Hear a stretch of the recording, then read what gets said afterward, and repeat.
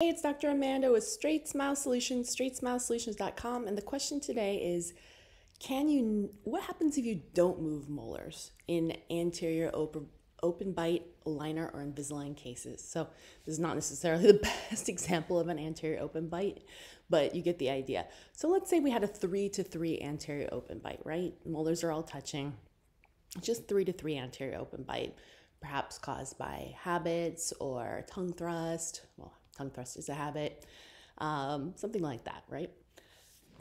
What happens if you just want to do anterior only treatment? And this was a great question that I got this week. So, first of all, I'm not even going to get into this because I have so many videos on why you should be very, very careful taking any anterior open bite case because you have to treat the issue behind it, the etiology of the open bite first, which can take several months to six months to longer or you can treat it concurrently with oral myofunctional therapy, which can be a little more expensive. It costs about $2,000 or so.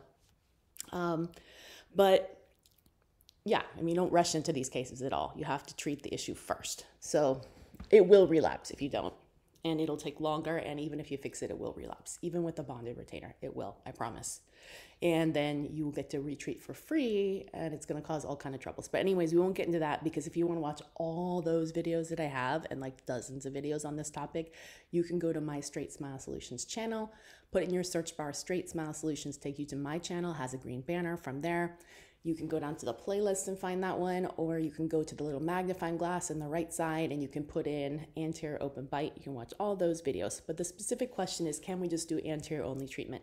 Can we just move the top six and the bottom six front teeth only? And the answer is sure, but it's going to look terrible. So, no.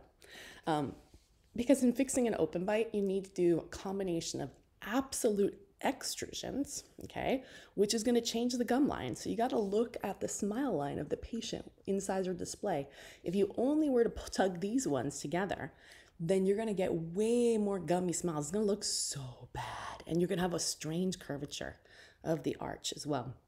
So you really usually need to do a combination of absolute extrusions and relative intrusions of the molars in order to close an open bite most efficiently.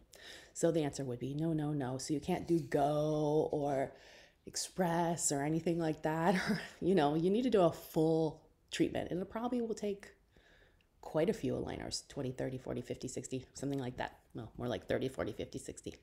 But hopefully that's helpful. All right, thank you.